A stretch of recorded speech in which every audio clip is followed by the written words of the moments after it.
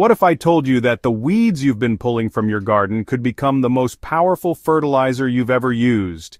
Welcome to the fascinating world of fermented plant juice, or FPJ as it's known in Korean natural farming circles. This ancient technique transforms what most gardeners consider waste into liquid gold that will revolutionize how you feed your plants and soil. Korean natural farming has been perfecting sustainable agriculture practices for centuries, and FPJ represents one of their most ingenious innovations. This fermentation process doesn't just create fertilizer, it creates a living, breathing ecosystem in a jar.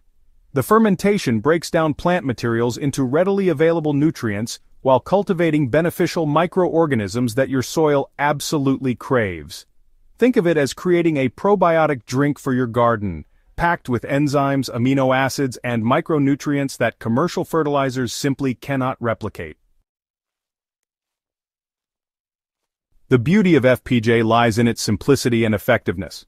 Unlike synthetic fertilizers that provide a quick nutrient hit followed by a crash, fermented plant juice delivers sustained nourishment while building soil health over time.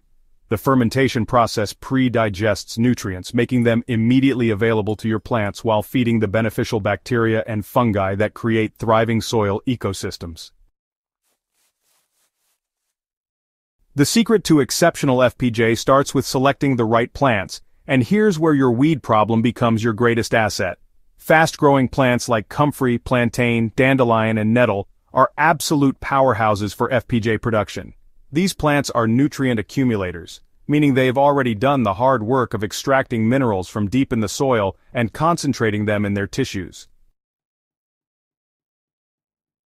So, comfrey really deserves a special mention as the king of FPJ materials. Its deep taproot, you know, actually pulls potassium, phosphorus, and all sorts of trace minerals from depths your crop plants just can't reach.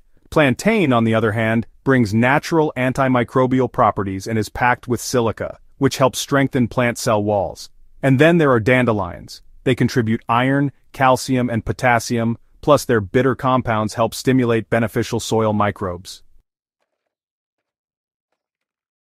The key here is harvesting these plants early in the morning when their nutrient content is at its highest and preferably before they flower. Young, tender growth ferments a lot more effectively than mature, woody stems. Always harvest from clean areas, away from roads or contaminated soil and never ever use plants that have been treated with pesticides or herbicides. Creating FPJ is honestly surprisingly straightforward, but timing and technique really do make all the difference. Start by chopping your fresh plant materials into small pieces just to increase the surface area for fermentation. Fill a clean glass jar about two-thirds full with these plant pieces, then add brown sugar at a ratio of roughly one part sugar to three parts plant material by weight. The sugar isn't just food for fermentation. It actually acts as a natural preservative and helps extract nutrients from the plant cells. Alright, so now you'll want to cover the mixture with clean water, leaving about 2 inches of headspace for the fermentation bubbles. Next, just cover it with a loose lid or cloth. This lets gases escape while still keeping any contaminants out. And then, place your jar in a warm dark location where the temperatures stay between 70 and 80 degrees Fahrenheit for optimal fermentation activity. Within 24 to 48 hours, you'll notice bubbling as fermentation begins. This is your cue that beneficial microorganisms are hard at work breaking down the plant materials, the mixture will develop a pleasantly sour, slightly alcoholic smell. Think of it as the aroma of healthy fermentation. But if you detect any putrid or rotten odors, something has gone wrong, and you'll need to start fresh. After 7 to 10 days of active fermentation, your FPJ is ready for harvest. Go ahead and strain the liquid through cheesecloth or a fine mesh strainer, pressing the plant matter to extract every drop of nutrient-rich juice. The resulting liquid should be golden to amber in color, with a tangy, fermented aroma that's actually quite pleasant. So this concentrated FPJ is incredibly potent and honestly it must be diluted before you use it.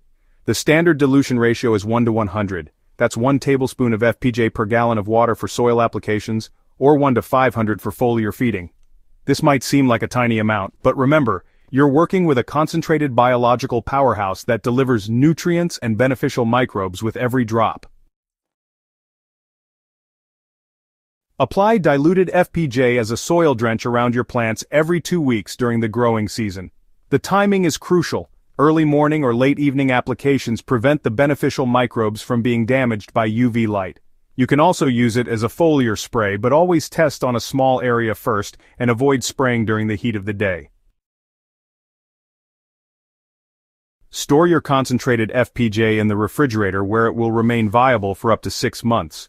Always use non-metal containers and utensils throughout the process, as metals can interfere with fermentation and damage beneficial microorganisms.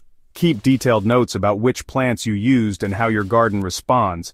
This information becomes invaluable for refining your technique. The magic of FPJ extends beyond nutrition. Regular applications improve soil structure, increase water retention, and boost your plant's natural resistance to pests and diseases. You're not just feeding your plants, you're building a resilient garden ecosystem that becomes more productive and self-sustaining with each application. Transform your garden waste into this powerful elixir and watch as your plants respond with vigorous growth-improved flavor and remarkable resilience. Remember to subscribe to Smart Garden for more sustainable gardening secrets and share this guide with fellow gardeners who are ready to discover the transformative power of fermented plant juice.